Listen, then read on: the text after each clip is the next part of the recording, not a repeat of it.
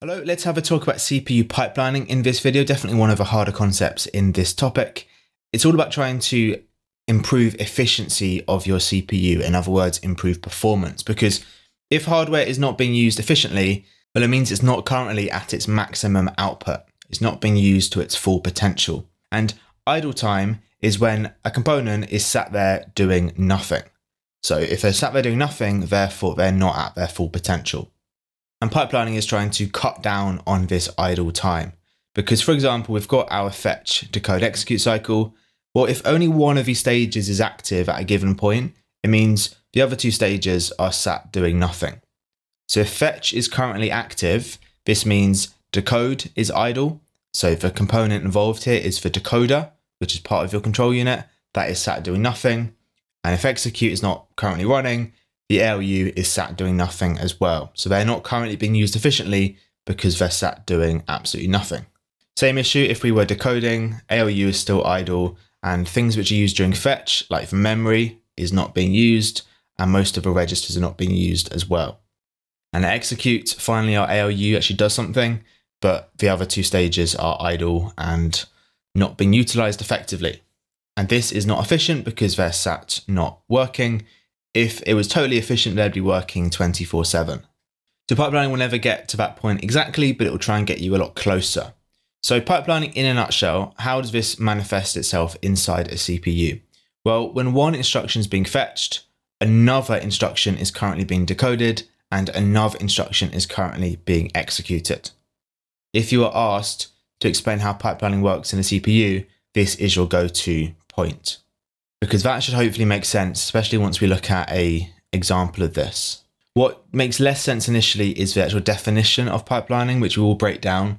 But the definition of pipelining is something like this. Pipelining is a form of concurrent processing where multiple stages of different instructions are executed simultaneously. Perhaps that sounds quite bad, perhaps it doesn't sound bad. It might sound all right because you just see the word simultaneous and they're like, oh, it's parallel processing. But pipelining isn't quite the same as parallel processing. True parallel processing is when you have three instructions being executed exactly at the same time. So this would be the situation where you have multiple cores. You've got three cores. Each core is executing an instruction at exactly the same time. So in other words, all three instructions are being fetched at the same time then all three are being decoded, then all three are being executed. That's not how pipelining works. Pipelining isn't true parallel processing. That's why I've used the word concurrent.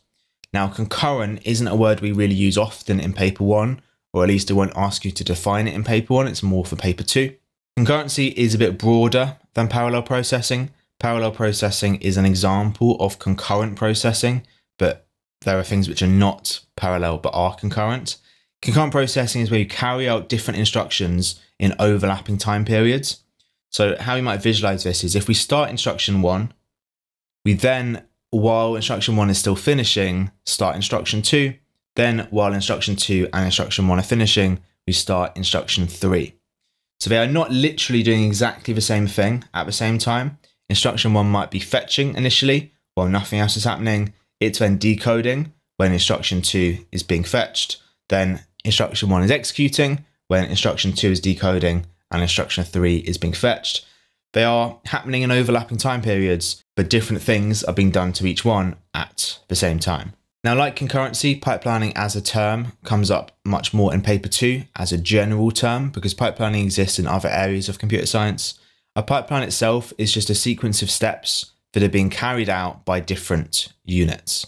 So we've got a chain of steps each step is being handled by a different unit. Let's try and visualize this. So a pipeline will progress through your CPU in multiple intervals. At the very start, when your CPU first turns on, it will only have one instruction currently being worked on. So it's fetching instruction number one. There will be some idle time initially because it's literally just started. It's got nothing else to do at this point. But very soon after, it will finish fetching instruction number one. So it moves on to decoding instruction number one. This is where pipelining will start to come in. It will immediately start to fetch instruction number two. Whereas if we didn't have pipelining, it would currently be idle in the fetch stage. Then the third interval, we move on to executing instruction number one. We move on to decoding instruction number two. and we move on to fetching instruction number three. Now, this is an example of where we are now much more efficient because no components are idle. And this process will repeat with this pipeline, with this chain of different tasks to do. So instruction number one is now finished. We execute instruction number two, we decode instruction number three, and we fetch instruction number four, and so on, and so on, and so on. Now, this model of pipelining, where we have three different stages, is what I would strongly recommend you have in your head and you try and write down in your answers. In reality, the pipeline is a lot longer in a modern CPU, which is worth you knowing about because they could ask you about contemporary CPUs, but it's really hard to verbalize. So in reality, the pipeline could be a lot longer. So for example, here is the fetch steps. We could potentially have a pipeline which lasts in each one of these different steps. And we could do the exact same for decode, the exact same for execute. And contemporary CPUs often have pipelines which are around 30 stages long, which is really hard to imagine, really hard to visualize. So much better to have in your head, we've got a three stage pipeline in CPUs.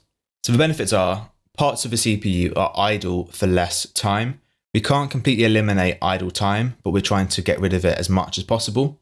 So what is the actual benefit of this? Well, overall, more instructions can be carried out in a given amount of time, which is why this helps performance. How does that affect our users? Well, it means programs will take less time to execute. A program is a bunch of different instructions. If we can do more instructions in a set amount of time, this means a program will take less time to execute. This is true despite the fact that each instruction takes at least the same amount of time as it would if we weren't using pipelining. So looking at, at one instruction doesn't we can't really see a benefit. It's just collectively we do have a benefit. That's because wasted time is being cut out in this process. The first analogy I can think of is queuing for your shopping at a supermarket. If you've got three self checkout terminals and only one is currently open, you're having to queue up behind other people. You're arguably wasting time by waiting for somebody else to finish paying for their shopping. However, if we open up all of these terminals, so all of them are always active, there'll be less queuing time because I can get started as soon as I'm ready. For me personally, when I walk up to this terminal and start paying for my shopping, that'll take the same amount of time, regardless of whether we are using all three or just one. It's just overall, it'll take less time because I'm not waiting around for other things to finish. I've put at least in this bullet point here because pipelining can have issues. It can actually slow down an individual instruction. Overall, it definitely helps a CPU in the same way that cache definitely helps a CPU. But on an individual level, sometimes there can be issues which slow down the process for an individual instruction. So, what are some issues with pipelining? Well, this process can stall. Stall is where we are waiting around and it is slowed down when two different pipeline stages require the same component. So, memory is the most obvious example of this because we use memory in both fetch and execute. In fetch, we are fetching the instruction. In execute, we are either fetching data or we are writing data to memory. And if these two stages happen to require memory at the same time, one of them is going to have to wait for the other to do this. And a control unit will have to manage this process. It will have to decide which stage requires memory first. This stalling may contribute to it being uneven, but just generally speaking, different pipeline stages may not take exactly the same length of time. This whole process is almost predicated on each stage taking exactly the same amount of time. In reality, some fetching operations will be slower than others. Some execute operations will be slower than others. It may be uneven, and this can cause bottlenecks. If you are executing a really complicated instruction and the execute stage is taking a few clock cycles, that means every other stage behind it is having to wait for it to finish. That creates what's called a bottleneck. Bottleneck is where you are waiting for one process to finish and you can't do anything until it has finished. One of the biggest issues is relating to branching though, which I want to go into a bit more detail about. This will make most sense if you've already covered assembly code in your lessons. If you are studying this early on in the course, this may not make a huge amount of sense just yet.